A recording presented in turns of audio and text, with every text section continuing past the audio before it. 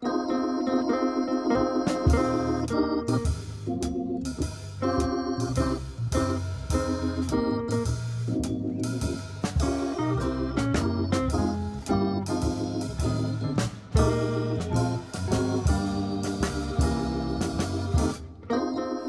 んか、ハーレムの黒人とかが、こう演奏してたような、本当に直感的に聴けるような、ジャズなのか、何なのかわかんないですけど、ブルースなのか、っていうのを意識してやりました。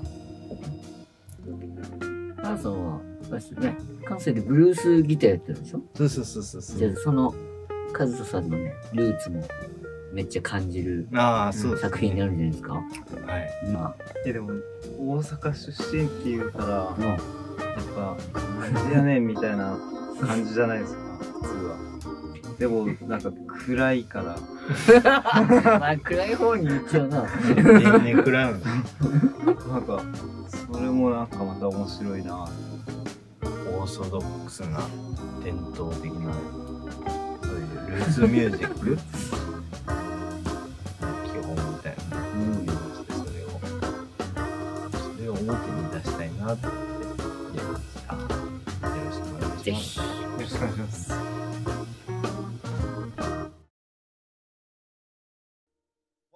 two, one.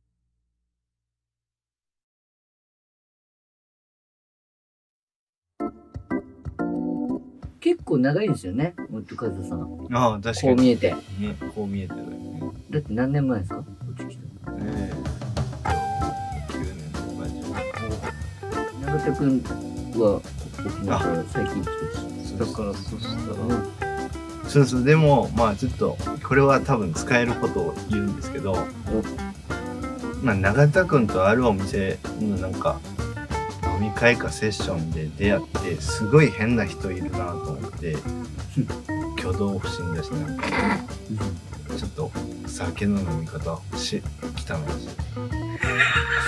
し。それで、まあでも、オルガンやってるとか言うから、まあ、大体そういう人って、すごいかっこいいか、もうどうしようもなくダメなのの二つに一つかなと思って、がなんか、まあちょっと誘ってみて、そしたらなんか、後者、ん？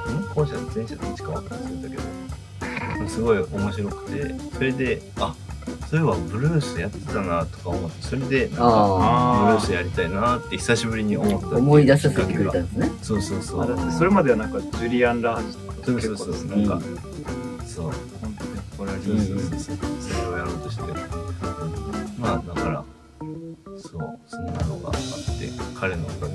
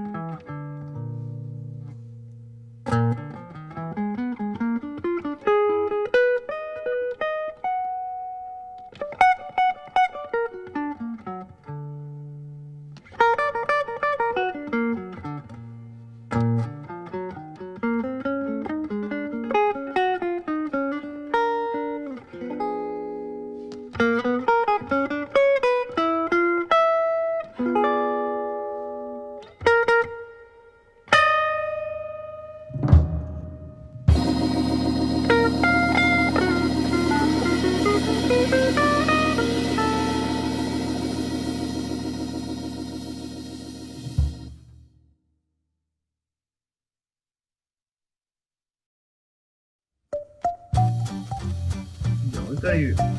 いや、リーダー最後。リーダーが最後そりゃそうだじゃあ僕から、ドラムの八木沼です。あの、YouTube をご覧になった方はですね、その、スタジオの映像、あレコーディングの映像とかがね、流れてたと思うんですけど、その雰囲気とかですね、あの、収録される曲の一部とかですね、その雰囲気を楽しんでくれたんじゃないかなと思うので、ぜひアルバムを通して聴いていただけたらと思いますね。オルガンの永田くんは。オルガン永田です。もう八木沼さんと一緒で、おい、ずりーね。本当に言ってくれてありがとうございます。僕たちの演奏、いいねと思ったら、いいね、チャンネル登録、よろしく。はい。ご覧いただきありがとうございます。まあ今、えっ、と、ブルージャイアントとかも流行っていて、ジャズに興味を持つ人が増えると思いますし、なんでしょうね。なんか、本当に、これがまあ入り口になっていろんなのを聞いてもらえたらとても嬉しいです。ありがとうございました。入り口なんてこ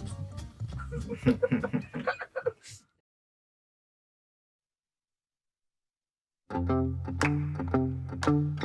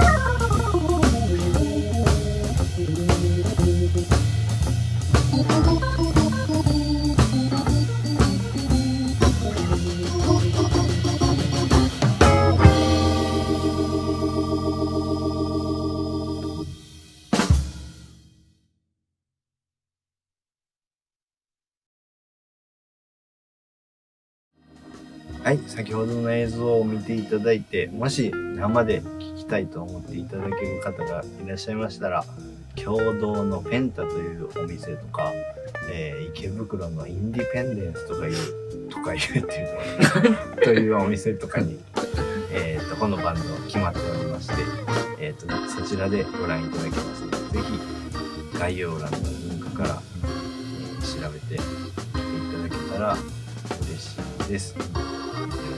ぜひ。よろしくお願いします。